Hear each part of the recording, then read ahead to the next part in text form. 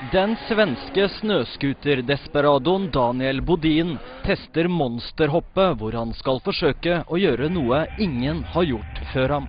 Planen er å ta en baklengs salto i løpet av det 50 meter lange hoppet.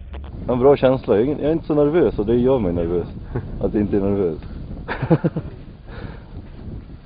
Men når rekorden skal settes, går det ikke helt som Bodin hadde sett for seg.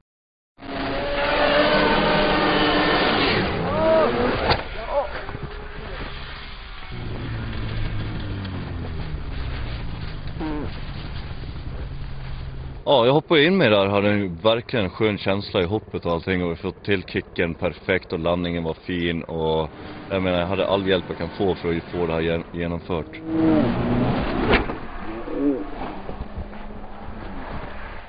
Så sen när jag var redo och drog till på flippen så det var ju någonting som hände.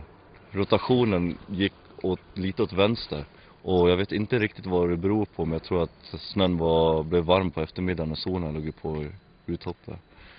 Så eh, jag landade helt sidled så jag fick lov att hoppa av och